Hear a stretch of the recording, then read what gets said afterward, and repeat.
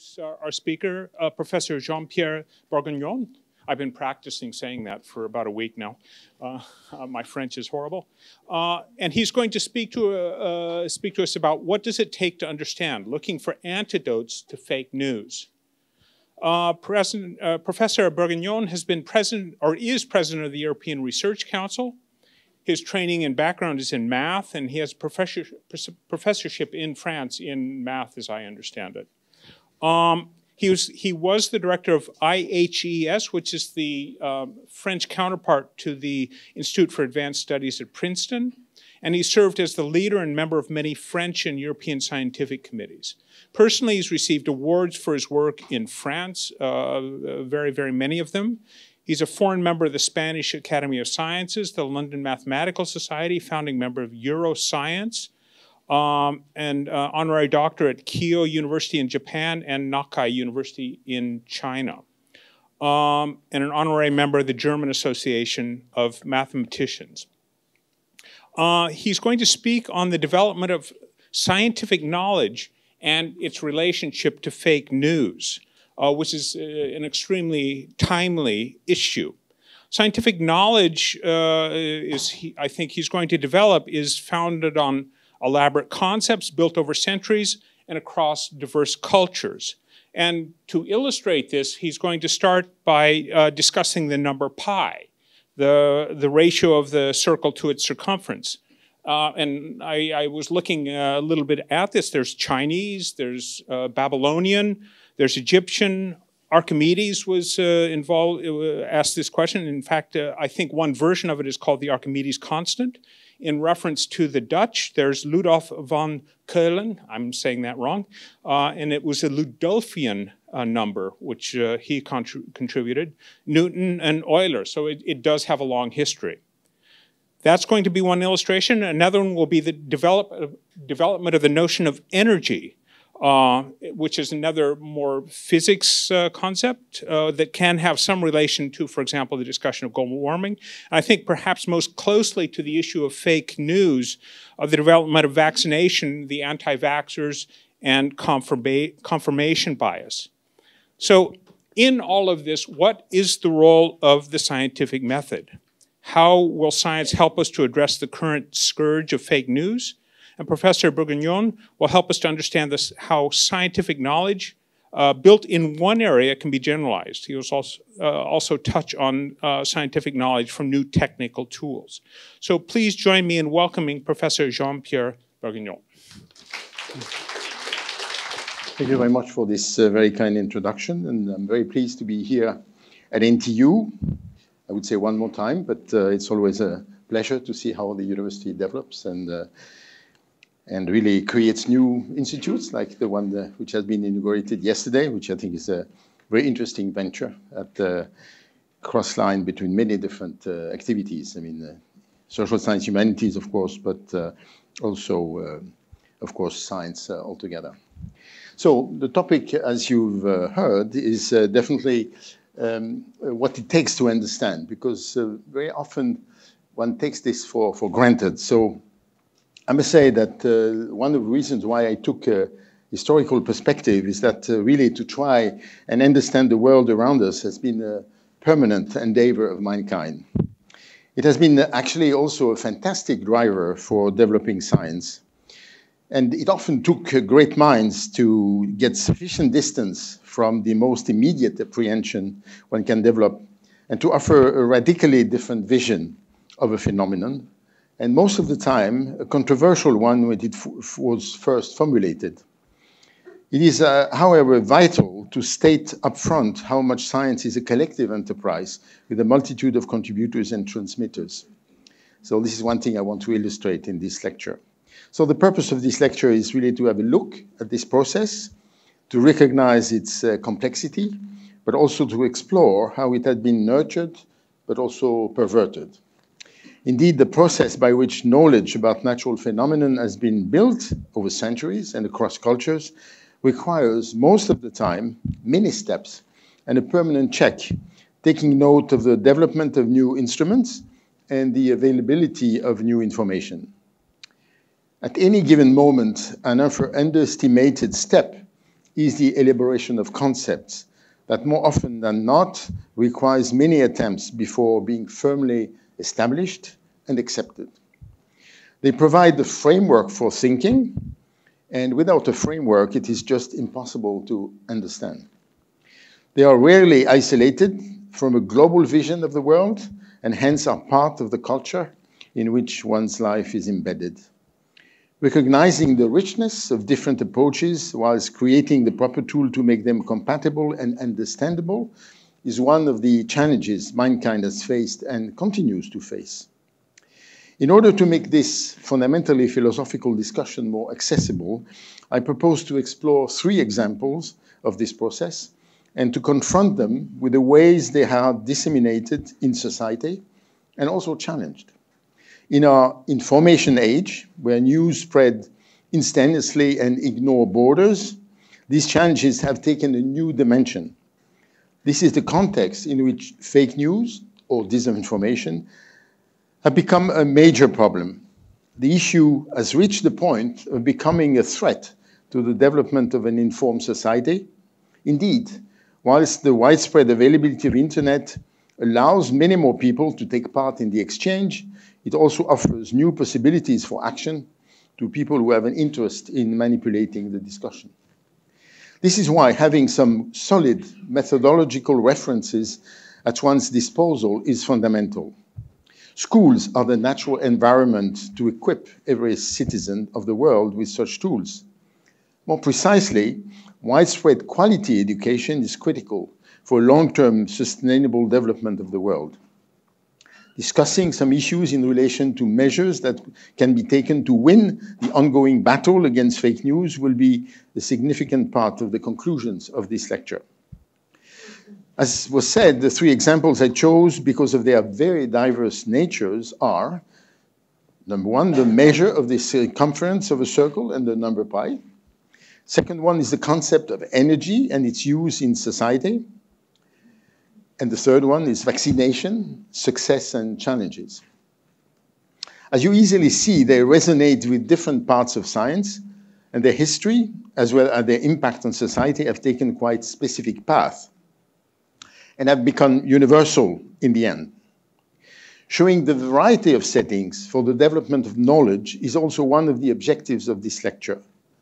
To get the process going, it is indeed indispensable to recognize this variety and the possibility for many actors in various positions to contribute. Along the way, we will see how knowledge built in one area turns out to be pertinent in other areas in a process that is most of the time totally unexpected. We will also show new knowledge, how, um, will also show how new knowledge can come from the availability of new technical tools, showing the linkage between the abstract and the concrete. So let me start with a consideration about circle and number pi. The question of evaluating the perimeter of a circle has been considered by many different societies going back far back in history. The circle is such a natural figure, having very attractive features. From a strictly material point of view, a stone sculpture as a cylinder with a circular basis is the easiest object that one can move around, as one only needs to push it and uh, to have it roll. To bring it back to our subject, the first question is, what does it mean to measure? It necessarily amounts to comparing different lengths. In the case in question, still the answer is not so simple. How can one compare the length of an intrinsically bent object with that of straight ones? Solution can be to roll the circle on the surface and measure the distance covered when the marked point on the circle comes back in contact with the surface on which it rolls. Very early on, it was noticed that the value found for the ratio between the perimeter of a circle and its diameter was slightly over 3. A whole number like 3 is understood everywhere, as integers are accessible in almost all societies. To come up with this notion, one only has to repeat using a unit. To say more, one needs to have a more sophisticated notion of numbers than just natural numbers. More than 3,500 years ago, one finds a Babylonian tablet proposing 28 divided by 8, 28 eighths, that is 3.125 in our decimal notation, as an estimate for the ratio between the perimeter of the circle and its diameter. Babylonians used a decimal system with basis 60, and to get this value, they needed two terms after the integral part in their system.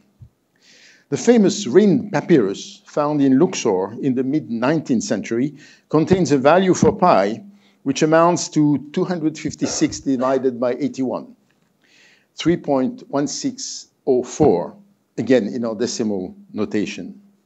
Egyptian seems to have understood that for a circle, the ratio between the perimeter and the diameter on one hand, diameter being twice the radius, and that between the area and the square of the radius was the same number pi. Now comes the natural question of the mathematical nature of the number pi.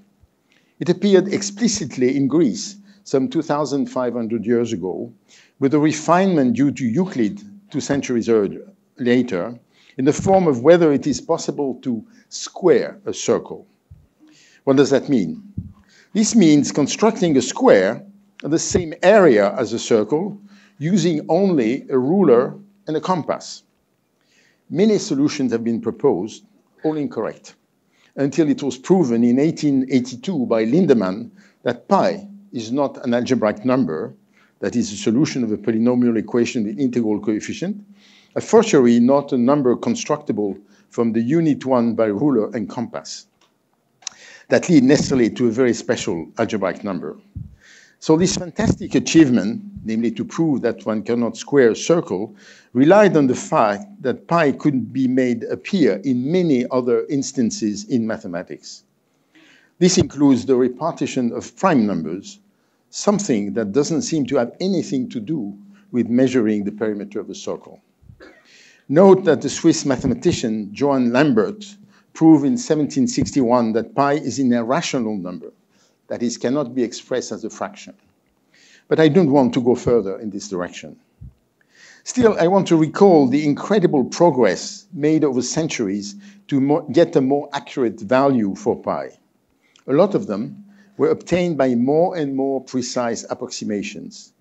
Both the circumference and the area, the idea is very simple, namely to replace the circle by regular polygons inscribed in the circle or tangent to it with more and more sides.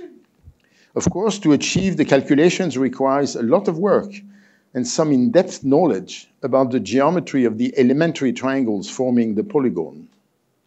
In this context, it is appropriate to mention the name, the contribution of Archimedes, who in his essay on the measure of the circle proved rigorously that indeed pi is a number appearing both in evaluating the perimeter and the area of the circle. He also established that pi lies as a number between 223 divided by 71, which in decimal notation is 3.1408, and 22 divided by 7, which is 3.1429. Hence, getting the value 3.14 that is taught in all schools around the world today. This is why the day after tomorrow, the 14th of March, is called Pi Day was 314. Further contributions were brought by Aryabhata in India, also by Zu Chongzhi in China, who approximately 1500 years ago proposed a remarkable value, 355 divided by 113, which is 3.14159292, proving, providing six correct decimals. I gave eight decimals to show that, you know, a very interesting property of fractions, of, which is uh, rational numbers, if you prefer, which is the fact that uh, if you divide two integers one by the other, in decimal writing, of course, you get a repetition appearing. And uh, in this case, it was 92. Another fantastic performance was achieved in 1429 by the Persian mathematician Al-Kashi, who provided 14 decimals correct. Science came back to the Western world approximately at this time with contribution of Nicolas Viète some 400 years ago, who proposed the first exact formula for pi as the limit of a sequence of fractions involving iterated radicals containing only a square root of 2.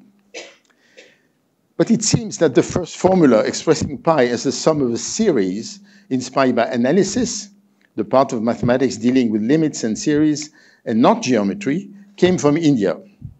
Indeed, a little over 700 years ago, first Madhava of Sangamagrama gave a formula for pi as a limit of an infinite sequence, and then some 500 years ago, Nilakanta Somayaji obtained a formula involving only explicit rational numbers converging much more quickly than previous ones. To get n correct decimals for pi, one had only to look at the 2n term of the series. It is in 1705 that 100 correct decimals for pi were obtained by John Machin.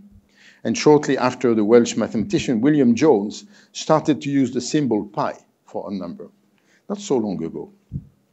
I can close this section without mentioning the great formula for pi squared, that is pi multiplied by pi, obtained by the Swiss mathematician Leonhard Euler. Pi squared is six times the sum of the inverse of the integers squared, bringing up again the obsessive question, how does this relate to the perimeter of the circle? This odyssey about pi shows how, over centuries, the concept of numbers has enriched itself how the power of mathematicians has grown to go in depth into the structure of numbers. Of course, the race for decimals of pi has been transformed in the days of powerful computers, who are presently beyond billions of decimals. There is one more aspect I want to touch upon here, in some sense related to fake news. The Bible contains an episode where the value taken for pi is three. The number is not given much attention, actually. But in 1897, a strange event happened in the General Assembly of Indiana in the US. One of the lawmakers introduced a bill supposed to offer, I quote, a new mathematical truth for free use in the state. Actually, it was related to a necessarily failed attempt to square the circle. After being approved unanimously by this assembly, the bill was stopped in the Senate of the state of Indiana thanks to the presence on that very day, where it was supposed to be discussed, of a Purdue mathematics professor who immediately stopped the inappropriateness of such a bill.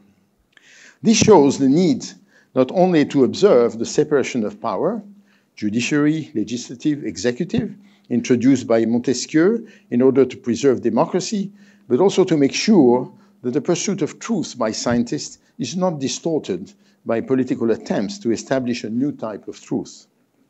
As a revenge, in 2009, the US House of Representatives passed a bill that, I'm quoting, supports the designation of Pi Day and its celebration around the world and encourages schools and educators to observe the day with appropriate activities that teach students about pi and engage them about the study of mathematics.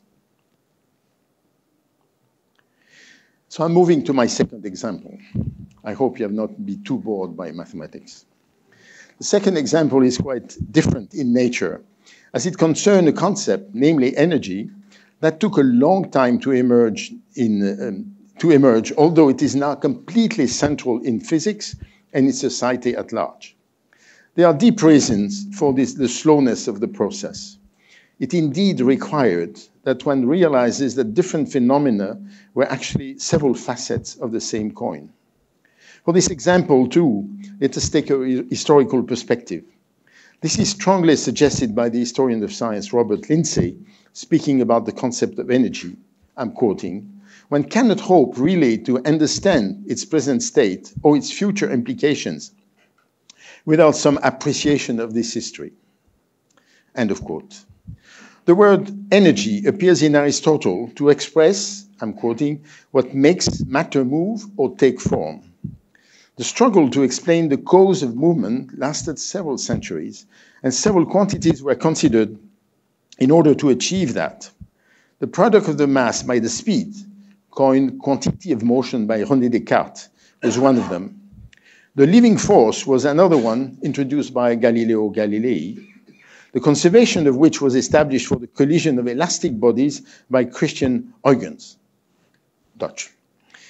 A long-lasting controversy on the living force initiated by Gottfried Wilhelm Leibniz extended over a century. Even the introduction of the fundamental law of mechanics by Isaac Newton in the late 17th century, relating the force to be applied to the acceleration uh, of the movement of point masses, didn't fully clarify the situation for the, the motion of more complex media, such as fluids, for example. This is to say that even in the limited context of mechanics, the identification of the key concept took a lot of efforts and some false steps. Although some attempts of developing steam machine can be traced back to 2000 years ago, it is the 18th century that saw the development of steam machines a, at a visible scale. This prompted, in particular, James Watt to establish some kind of correspondence between heat and the movement produced. This was done in a somewhat systematic way for the first time by Julius Robert von Mayer in the early 19th century, who considered both the production of heat by movement and the converse. This was taken to a new level of rigor by James Prescott Joule in the mid 19th century. He clearly established an equivalence between mechanical work, which is the product of the force applied with the displacement, and heat he actually considered various forms of energy mechanical work, heat, chemical energy, electric and magnetic versions of energy. This led him to state that heat is not a substance, as was defended by some earlier, but related to motion. This gave a major blow to the so called caloric theory, introduced in particular by Sadi Carnot, that had been prevailing for some decades. It is interesting to note that for James Joule, science was mainly a hobby as he was managing the family brewery. It is now clear that heat is indeed a measure of the intensity of the erratic motion of molecules in a medium, that the theory of thermodynamics, a major uh, achievement of the 19th century, could be connected to a macroscopic description of matter. Of fundamental importance to present day science is the conservation of energy that requires that energy be given a precise definition valid in its various forms. One can view this principle, I'm quoting, as Richard Feynman calls it, a quantitative version of the statement that energy is transformed from one form to another without being created or destroyed. This versatility is precisely what makes its identification such a challenging task but also why it is a backbone of present day physics and more generally science, as the concept has spread to all natural sciences. In 1905, another barrier was crossed by Albert Einstein when he developed the theory of special relativity and established his famous formula E equal mc squared, where E stands for energy, m the mass transformed, and c the speed of light. This shows that mass is a form of energy.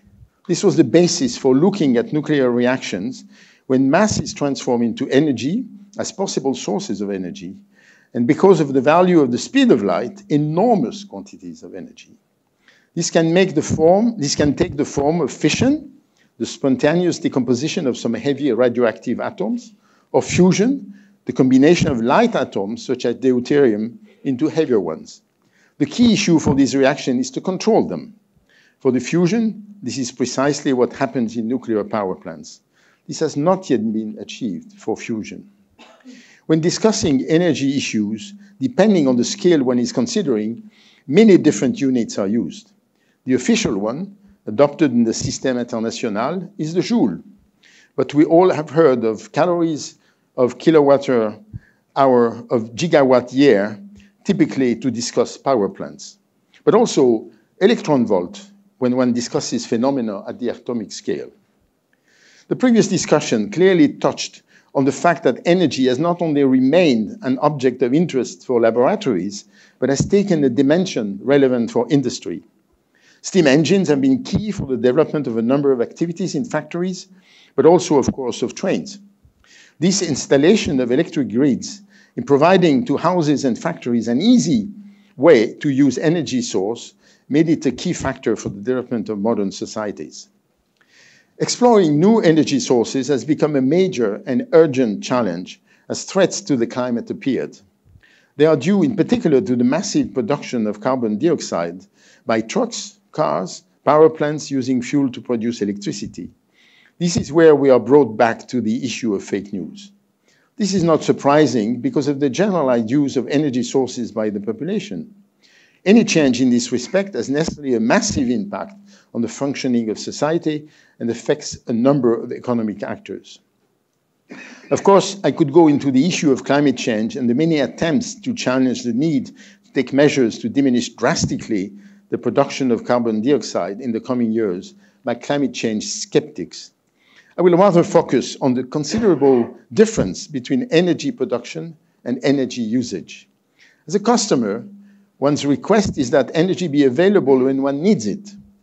Depending on the source producing the energy, its availability at a given time may vary considerably.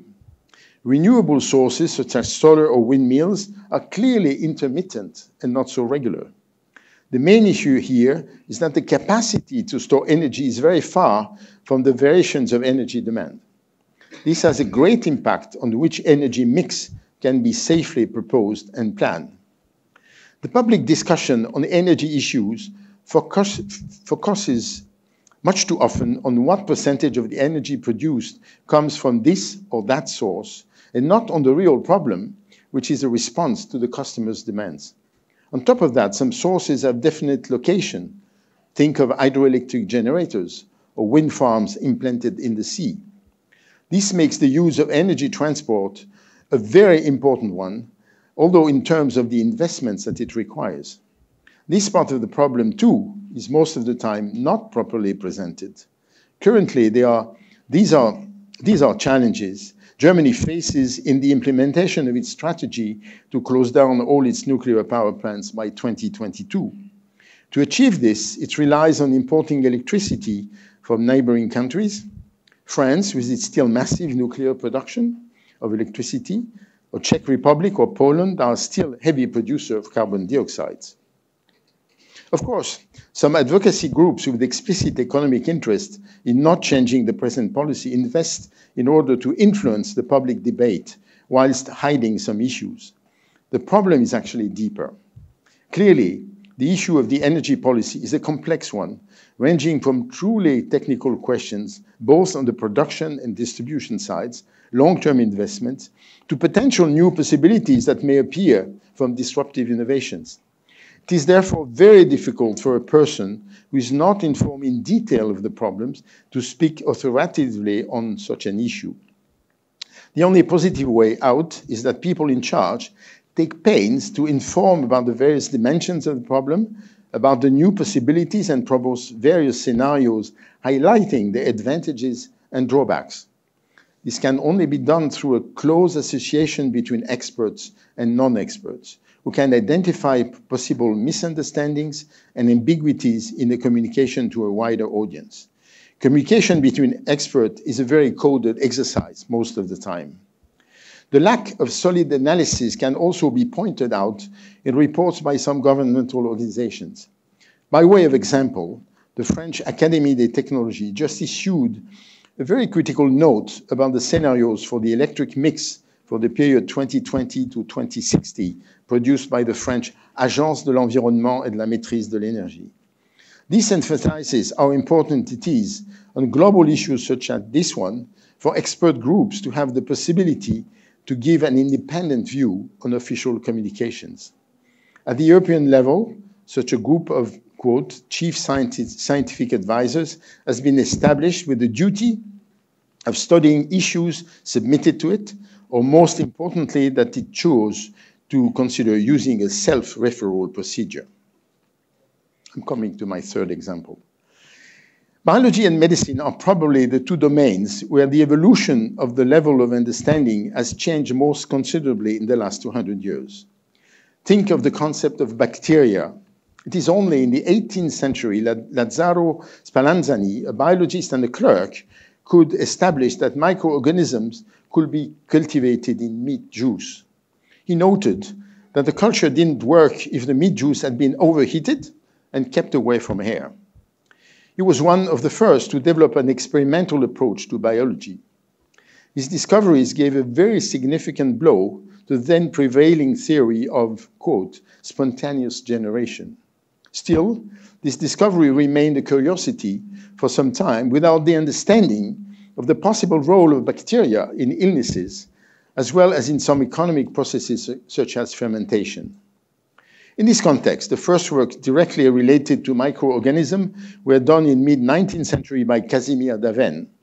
He proved that the sheep anthrax is due to a bacteria and can be transmitted in a controlled way.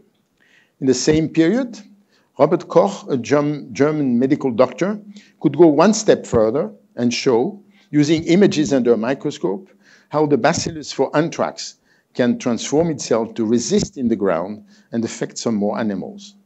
He developed a methodology for microbiology. He's famous for having discovered the bacillus for tuberculosis and for cholera. Louis Pasteur was a French chemist who was very interested in fermentations, in particular in relation to breweries. He believed that some contagious illnesses could be caused by microorganisms. Responding to a request by the Ministry of Agriculture, he studied an illness that was spreading among silkworms, creating serious economic damage. This led him to identify a number of bacteria causing various kinds of illnesses. While working on the hen cholera, he noticed that animals can be protected if one injects an age preparation of the microbe to them. This reminded him of the work of Edward Jenner about one century earlier, who, through injections of vaccine, a benign version of the smallpox for cows, in cows, protected humans against smallpox, a major health hazard at the time. Since antiquity, it had been known that somebody exposed to the illness will not contract it again. In fact, some 1,000 years ago, Chinese had developed a primitive form of vaccine to prevent smallpox called variolation, in the form of an exposition to tissues from people who had suffered from smallpox. This practice spread from Asia to some countries.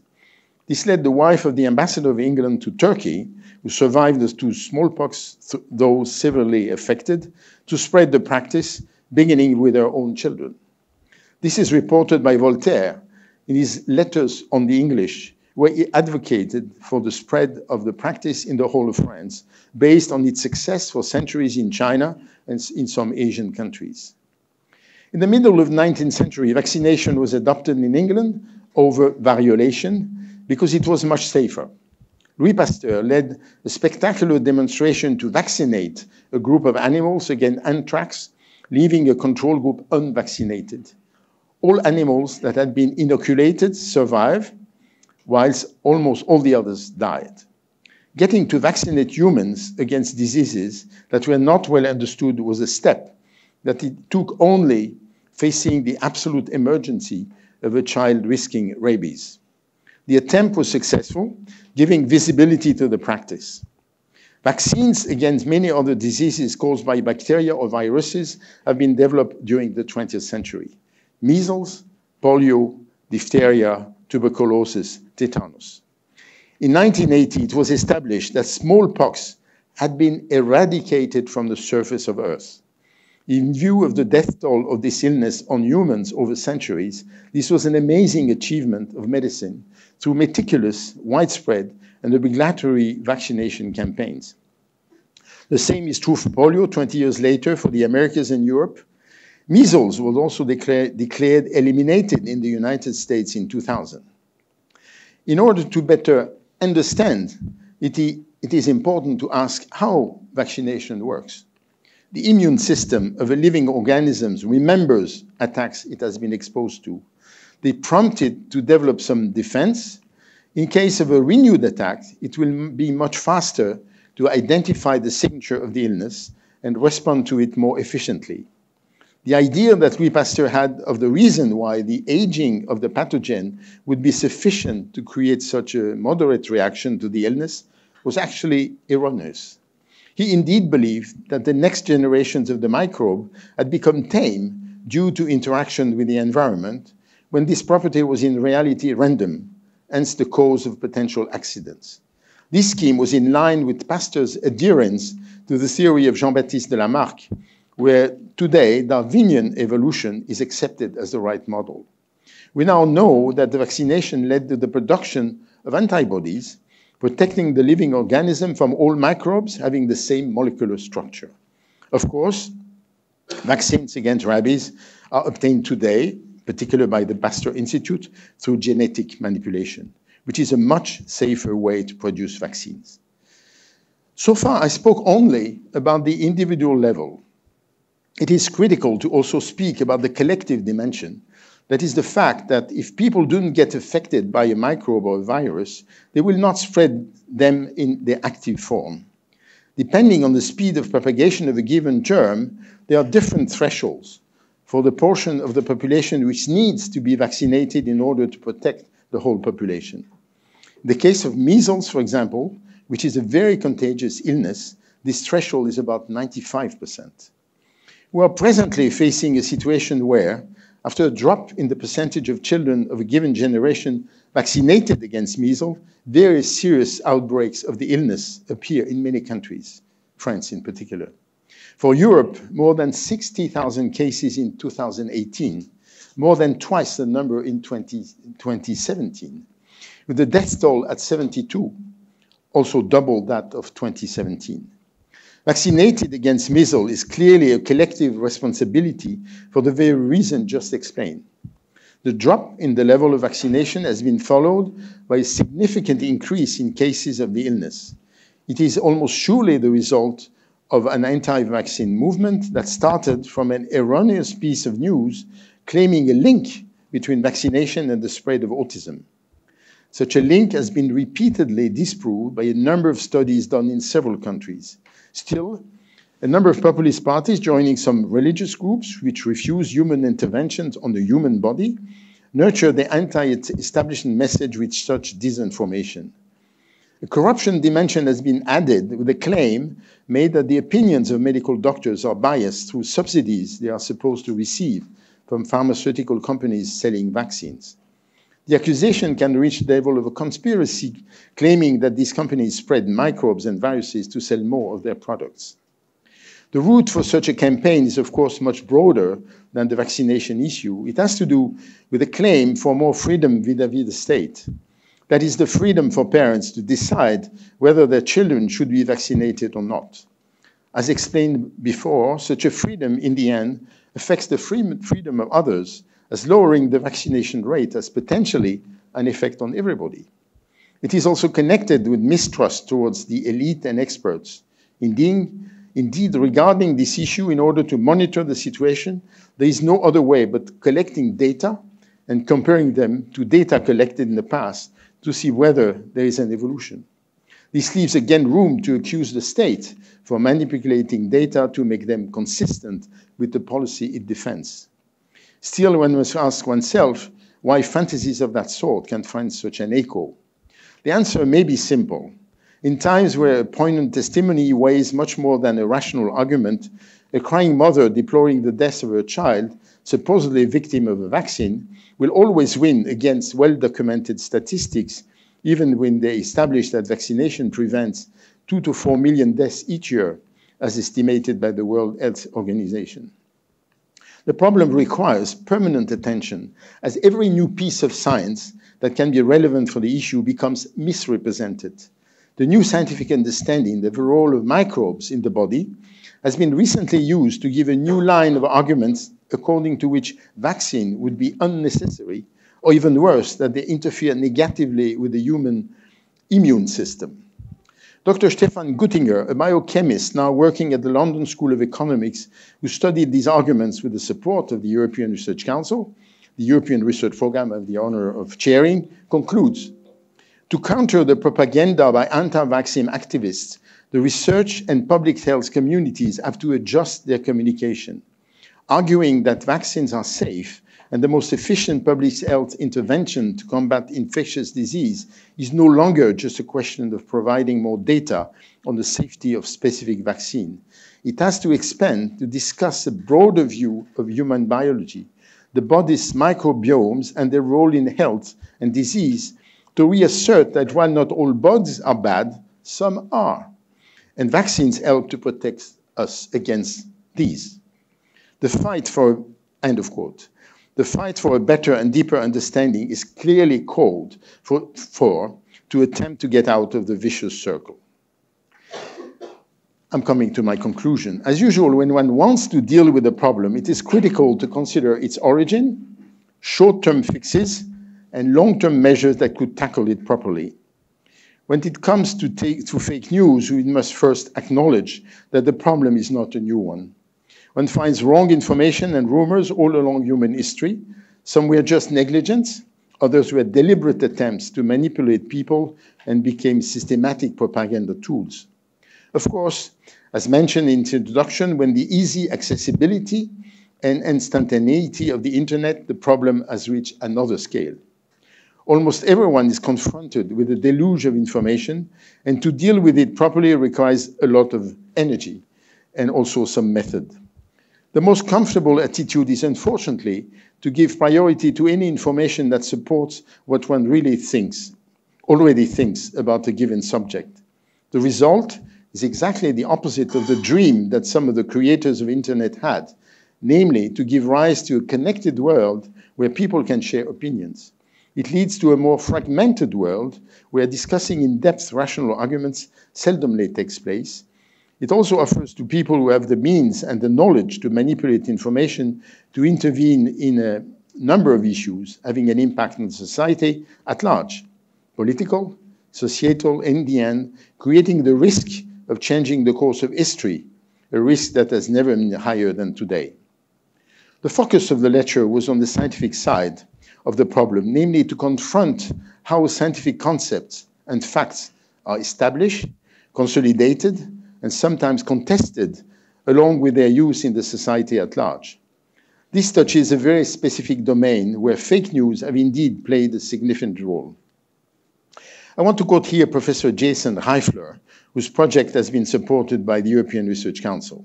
I'm quoting, while some people may simply lack relevant factual knowledge, others may actively hold incorrect beliefs. This project is principally, that's the description of his project, is principally about misperceptions, the facts that people believe that, that simply are not true.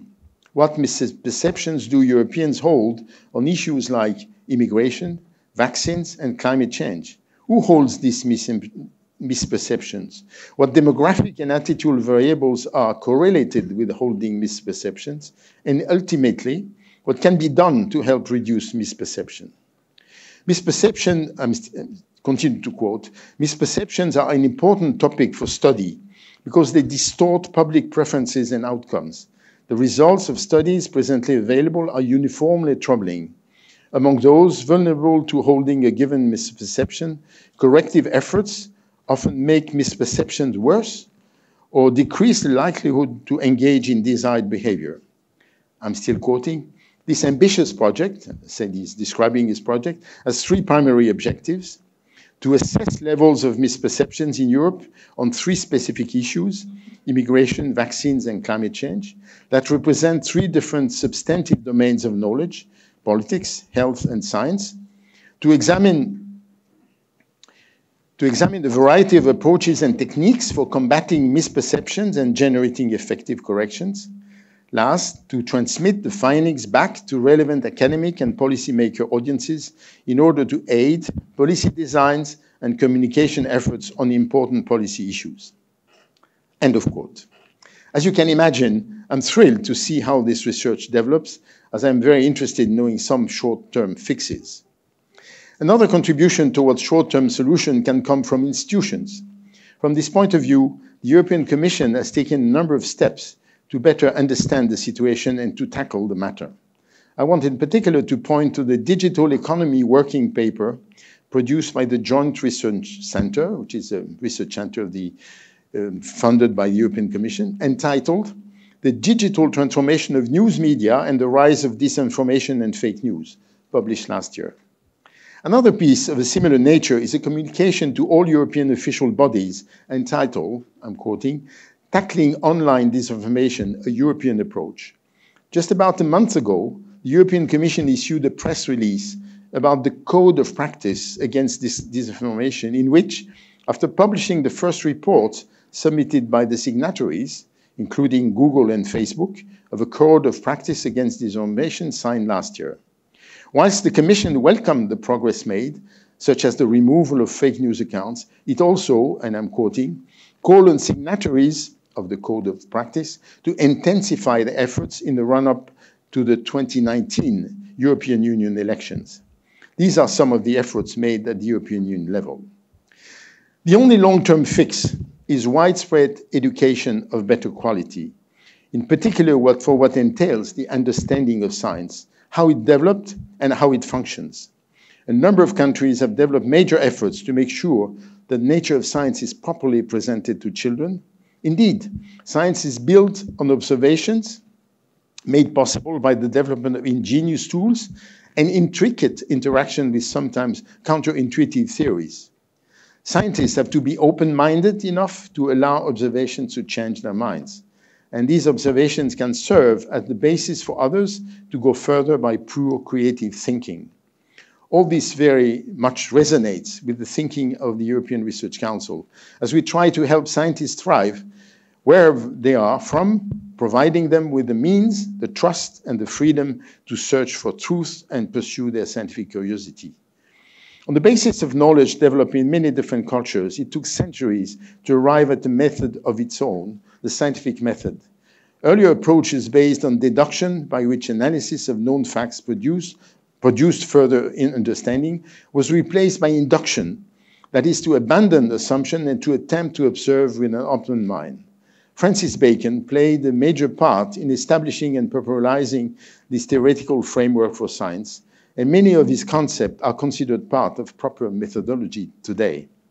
The French astronomer André Brahic phrased it beautifully, I'm quoting, to understand the scientific method, one has to realize that progress comes from a continuous process of calling into question.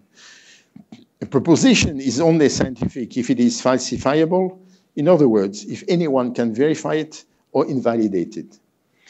End of quote. This is why, I'm quoting again, the history of scientific ideas is an excellent school of doubt, humility, rigor, honesty, and the critical spirit, which are prime virtues in the service of a passion for knowledge. End of quote. We need children from all over the world to be exposed in an active way to such a methodology early on to get vaccinated against fake news. The aim should also be to trigger the imagination and enthusiasm to be part of the global enterprise. Science is to improve the world. We live in a better world place where the pursuit of knowledge is respected and cherished. Thank you for your attention.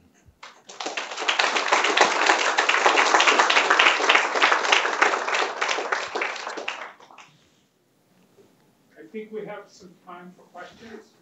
Uh, so anyone who wishes to ask a question?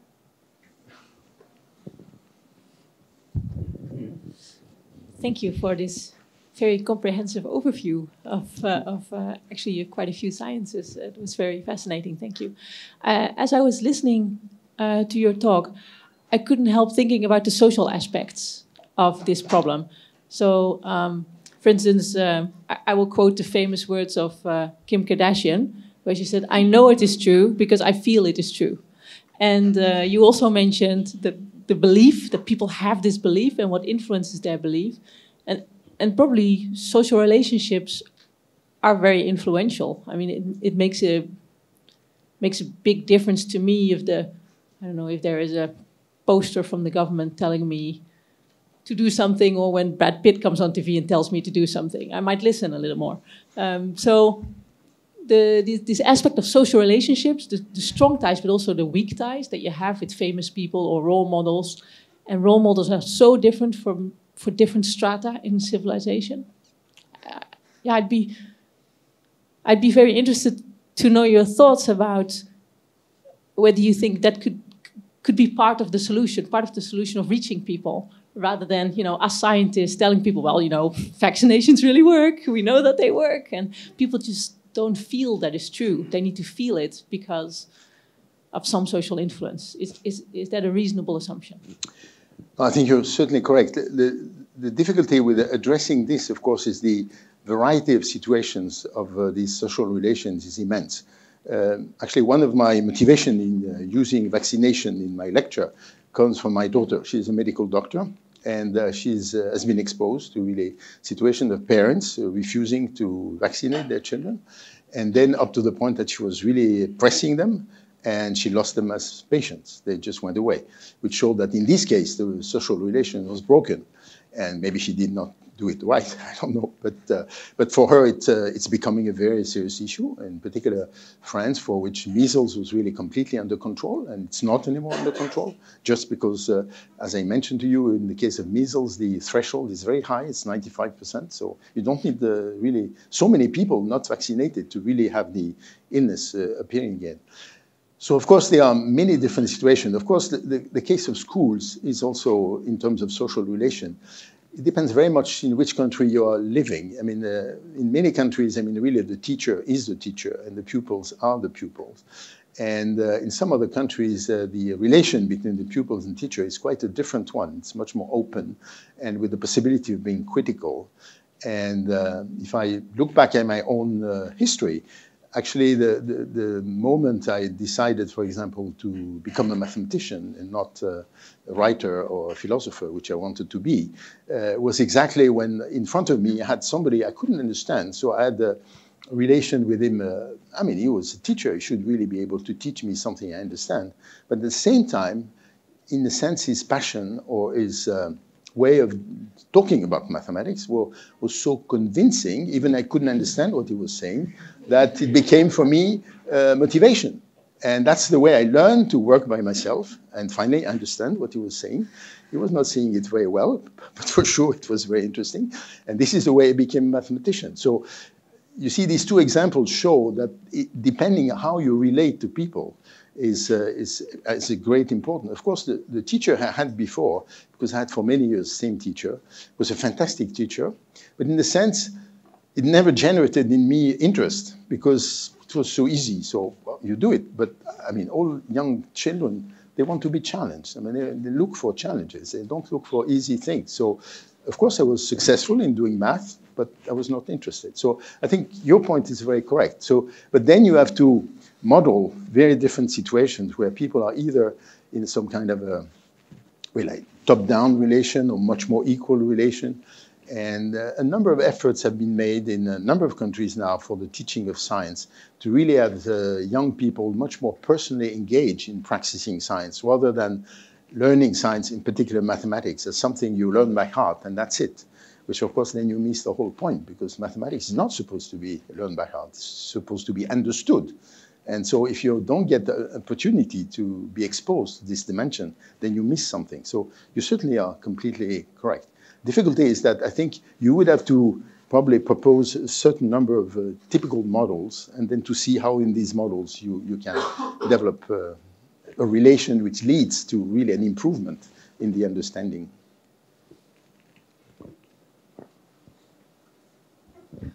Uh, Jean-Pierre, after I would like to have a copy of your presentation because you. it was uh, scientific. But uh, by the way, just on the not on the serious side, it's the first time I see a mathematician presenting without slides. well, so well done. Because I'm, maybe I'm not a true mathematician, I should be a philosopher. But. you changed the profession. But just on the serious side, uh, what is the strongest antidote you found against the fake news? What is the strongest? The strongest antidote. Well, as I said, I mean, there are different dimensions. I mean, uh, one dimension, the, the, I mean, as I said, short-term fix. So maybe part of it can be regulations, which uh, is typically what has been done with closing down some, uh, some, um, uh, I mean, uh, sources of fake news, because I mean, definitely they are, I mean, creating uh, bad things. But as I said, for me, the only long-term fix is really having a better educated population. And of course, it's a very slow process. It's an expensive process. You need good teachers. You have to give a lot of uh, respect to the teachers, maybe to pay them a little better. It depends on the countries. I think Singapore is paying its teachers quite reasonably well. It's not the case in all countries, I can tell you. And, and so I think, uh, and of course you have to find something in between because you, so how, for me, maybe the worst situation, uh, worst part of this present situation is this fragmentation which has happened. The people are, there's a deluge of information. So how do you resist to that? Well, by selecting things which say things you already feel comfortable with. And therefore, you're creating some kind of very closed system. And um, how do you provoke people to accept to be challenged? Actually, one thing uh, maybe I can mention to you, and my assistant knows that very well. At some point in my life, I was the president of the ethics committee of CNRS. And uh, one thing which uh, resulted in that, I was attacked by a number of uh, extreme right and extreme left groups because they were pretending some that we were not doing what we are supposed to do, and some others that we are not really having some kind of not form, really very strict form. And then so I, I, got these messages. And rather than cutting this, I still keep getting in my mail the, the information from these uh, extreme groups. And for me, it's always very interesting. Of course, I feel sometimes completely flabbergasted what I read. But it's extremely important to know what people you really uh, are fearing, what they are going to do, are really claiming, because then you have some chance of uh, saying, okay, how can one say such a thing? I mean, and then you start to really wonder how you can. I have no solution to address that, but I think keeping an open mind, which means being exposed to extreme opinions, even if you don't share them, is extremely important because then that's the only way you can understand that things can transform themselves in ways that you don't like. And I'm afraid at this moment, this is really something which um, I don't see how to do it. That is that people accept to be much more, more open, to be confronted with the opposite opinions, uh, because the debate tends to be, in particular, one dimension of debate, in order to have such a debate, you need to respect people. So as soon as the, instead of exchanging with people, you insult them, this is gone. I mean, uh, insult is never going to uh, allow an exchange. So, and I must say that in recent years, I mean, quite not so many years, really the discourse, in particular the political discourse, has become very, very aggressive, very, very strong. And this is not uh, the good way of moving forward. And so I'm just uh, seeing this. I have no way of changing it. But for me, it's a very serious concern. That's why recent evolution in many different countries, as um, uh, I, I see this as a very global phenomenon. So it must have to do with very, very uh, explicit changes in the technology and the use of technology by people, because it's happening in many countries in different disguises, but it's the same phenomenon. So I think one needs to understand that better. And um, I'm not sure that enough attention has been paid to that, enough studies have been conducted. That's why I quoted these uh, ERC uh, projects, because I like that some people just spontaneously, that was, we are a completely bottom-up system, suggested to look into these matters and to analyze them in a scientific way, because I think we need much more in-depth uh, analysis of the situation to really be able to come up with uh, solutions. And for the moment, uh, I think it's very important to identify the problem and then maybe we, we can find solutions. Yeah, thank you for your very enlightening lecture. I'm happy that you started with the concept of pi because now the there's even people questioning that the the, the earth is a globe. Yeah, no, sure, there's a society it's, for flat earth. Exactly. Exists, yeah. So that, that is really stunning, stunning to me that things that have been established for hundreds, if not thousands of years are now being questioned so fundamentally. It's like denying reality. So my question, actually, the, the thought experiment that's been going on in my mind is, uh, she mentioned about the social aspect. What about the economic aspect? Because what we've seen in the last 30 to 40 years is an increase in the income disparity. The Gini coefficient has been going up the roof. Um, basically, the benefits of science have not trickled down to the lower strata. I, I, that, that's the thought experiments going on in my head. And this, this leads to a distrust of science. So I don't want to hear all your reason about vaccine, all the experiments you did. I just don't believe you. And I'm glad you shared your experience of your daughter where the, the patient just disengaged. So, and when you mentioned that education plays an important role, I absolutely agree with that. But what that what doesn't that doesn't address is the access to education, which is closely related to economic uh, uh, disparity. So I well, would like to hear your comments on that. Well, I think uh, the, the, issue you raise depends very much on the social system in which you function.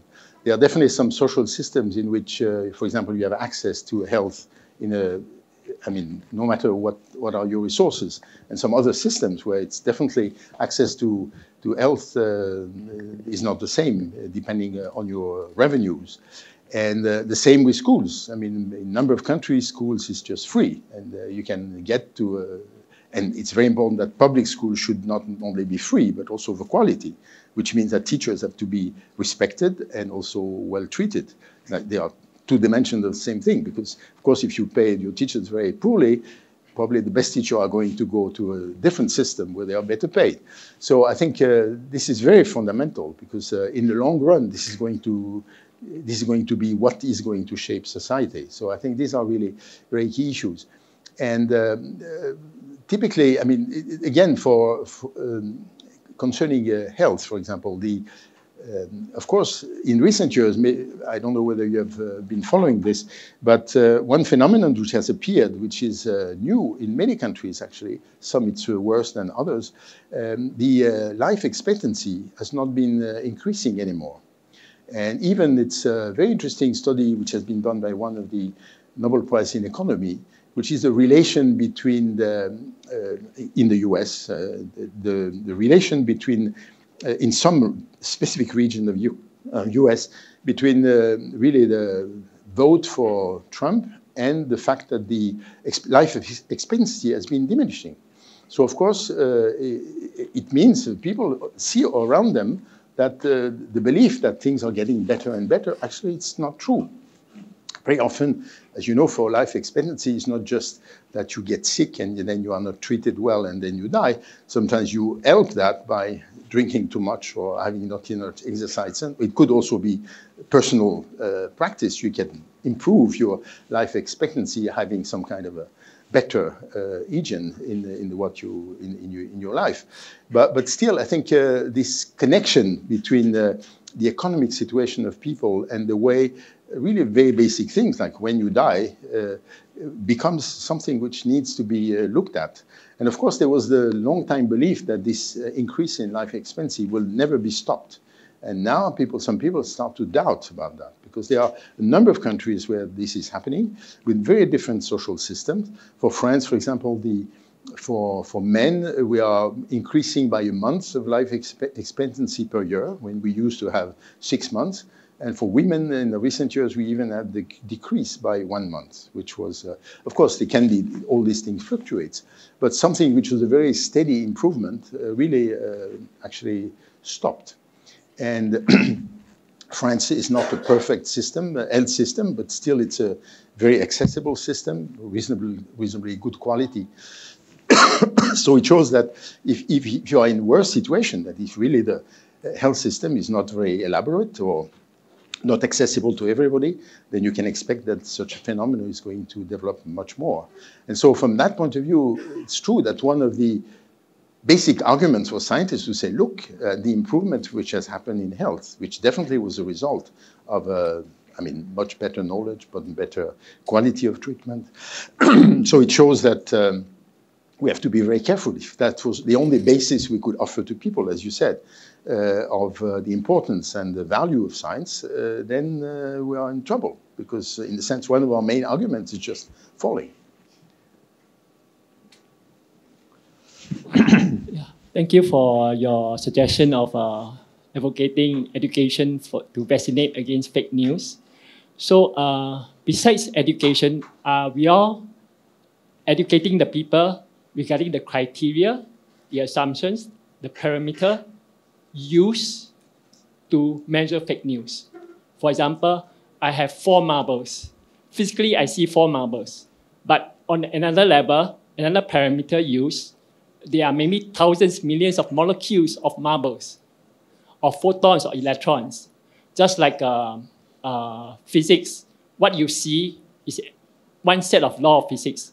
Quantum physics, another set of law of physics. So when you are educating people, you are vaccinating against fake news. Are you also educating the limitations of the parameters, of the criteria used, and when do they apply and when do they no longer apply the parameters? And how do you differentiate when you should use them and when you should discard them when they are no longer usable, the parameters of education?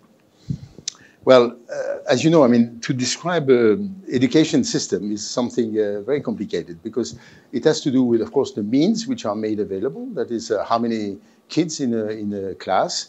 Um, and you know, some countries still have uh, the, in the same building, uh, three classes during the day. That's the case in South Africa, in some parts of South Africa, because they don't have enough classrooms and therefore the material conditions are not good. The other part is, of course, what is the quality of the training of teachers. In particular, one thing which uh, actually I mentioned yesterday is uh, in terms of uh, artificial intelligence, uh, probably one will have also to retrain people a lot. Uh, who is going to do that? How do you, all these people will be trained? So in a sense, uh, something which for me is very, very important today is that the teachers have to be helped in being retrained regularly because a number of other, I mean, elements of uh, knowledge have uh, appeared and they should be comfortable with these elements of knowledge. You see, the, the worst situation of a teacher is that if he's uh, at a loss with a topic, because usually he doesn't teach it in the right way. And so I think, uh, so you need all these parameters to really qualify the, the quality. As you know, very important thing, I mean, in, personally, I, I mentioned it already, is the motivation of kids. So if kids feel in class that they're really challenged in a good way, that uh, what they are offered is also they realize that they are gaining something. I mean, in their agility, in their capacity, uh, changes completely the, the relation in, in, class. I mean, of course, a, a, good classroom is a classroom where all kids may be competing within themselves, but still willing to share something. I must say that part of the good side uh, of the teacher, as I mentioned who didn't motivate me to do math, that he used the, the, the pupils who were comfortable with the topic to help others. And I think, I'm sure it played a very important role in my solid understanding of mathematics, even if I was not interested. At least I knew the mathematics I was teaching, I was uh, learning very solidly. Uh, it didn't motivate me. So I think all these elements you see are very different. Some are mean money, some others mean just a different uh, setting, a different types of relation between people. And of course, depending on different societies, we'll have different approaches for this. So I think this is um, one point I want to make. Now, to come uh, to fake news, we're still in a process where the multiplication of, um, I mean, the deluge of information is still, I mean, you don't know where it's going to stop. I mean, uh, I see this in my in my position. Of course, I get a lot of information coming from people, but uh, the daily load is almost beyond what I can read. So Uh, what do I do? Of course, I delete some of it without just looking at the title. I'm not even talking about really garbage. I'm really talking about people who write to me to tell me something. But at some point, you, you need to absorb the information and take consequences. And so at some point, there will be some regulation. So it, it's not clear whether this explosion will continue or whether it will just stop at some point. And then, of course, depending on this, whether it continues to grow and then clearly becomes completely unmanageable, or maybe AI is going to help us to manage this, um, or uh, whether it's, uh, it stops at some point and then you have some kind of a settling. Uh, this is not clear to me. I mean, because you know, for the moment, a huge amount of uh, information that we receive on our mailboxes are just information you didn't wish to receive. It was just sent randomly uh, by machines and uh, without choosing you um, on completely uh, general abstract uh, criteria, but most of the time non-pertinent criteria. So I think for I mean, to, to deal with the question you, you, you, you propose, I think it's very important to, to know we, we, are in a period of things changing so quickly. You have to know whether it continues or it stops. And it's very difficult at this moment to, to know about that because uh, that's, um, difficulty. Sorry, uh, I'm not talking about the education per se, training per se, or the fake news per se. I'm talking about the criteria. Are we teaching the parameters, the criteria, the limitation of the criteria used in education in fake news? The limitation of the criteria which is measure whether it's fake news or new news. Well, uh, I don't know what is the situation for, for Singapore. I know the situation for France. For the moment, this topic is not touched at all in class.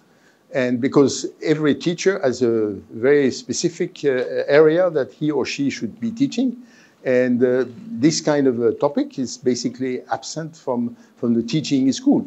And at some point, uh, you have to face that and really to, to really have uh, pupils also exposed to discussion on this. For the moment, in France, just doesn't exist. So I think uh, for example, then if you imagine that you start to introduce some teaching about this, um, how would you do that? I mean, what uh, what kind of uh, area you would choose? But because there are all kinds of news. There are news which are I, I spoke mostly about news which are connected to science, but there are also news which are connected to very personal information, which is completely different thing.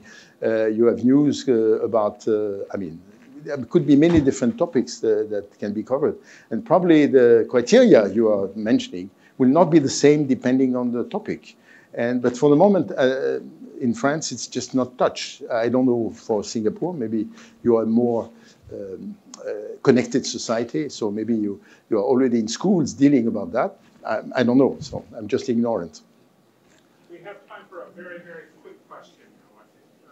Thank you, Professor, for your speech. I would like to ask with regards fake news to the rise, because fake news is being used by many politicians now, especially in Europe, to win elections. Because there's a people are very concerned about immigration, how they affect them culturally and personally. Like with the rise of populist politicians like Matteo Salvini and Marine Le Pen, and even in Germany, far-right politicians are rising, and they use fake news successfully to win many local, regional, and even possible the next European elections.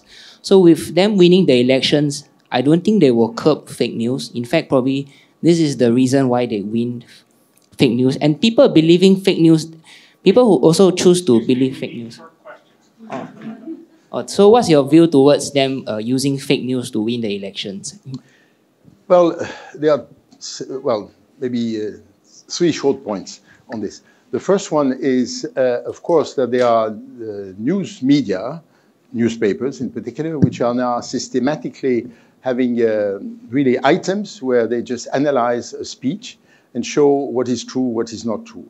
This is several media have now that systematically, uh, and uh, quite often it's, I mean, the, what is said which is fake is obvious. In some cases, it's much more subtle. So you have to, to be careful. That's the first point. The second point is that, you know, some people have understood, and maybe it was the most visible in the US election, that you don't need to change the minds of the votes of uh, so many people to change the vote. Because the votes are typically, I mean, you have to win, you have to change two, two to five percent of the votes. And therefore, if you, because you have the information, you can target through fake news or through uh, certain type of information, very specific group of people. And that's where having access to personal data on people makes a big difference. Uh, then you can really start to be really efficient. And this is exactly what uh, has happened for the US election. I mean, if you look at the districts that have been changed, uh, if you, for example, there is a very strong correlation in the number of uh, messages which were sent to people on these districts compared to others, which meant they have been targeted as specific districts where things, uh, the vote could be changed. So this is the second uh, dimension, which is, uh, of course, uh, and of course it was the first time it was arriving at such a scale, uh, which means two things, that first the, the data were available, so some people managed to get hold of the data, and then they knew how to use it. And, so they, and now for the more long term, I think uh, some on the topics that you mentioned, um, for example, uh, on immigration, I mean, if you look at the, the figures and you look at them really with a sufficiently long historical perspective, you see that at, definitely at some point there were a number of people who wanted to come, but uh, for example, this is not anymore the case. And uh, so, in a sense, the, if you take a, if you provide long enough information, you can think that the, describing the situation as an invasion, for example, which is typical language, which is used in this case, is just not true. So because you, you can just look at the, at the figures and not just look at the very last uh, month, but really put it on a longer perspective. So again, if, but then you need uh, really an effort to gather information on a longer term comparative to other situations so that you can actually have arguments to show that this rhetoric is actually pure rhetoric, it doesn't correspond to reality. So I think there are these three dimensions which concerning your question. Thank you. Thank you very much, uh, Professor Bourguignon. Thank you.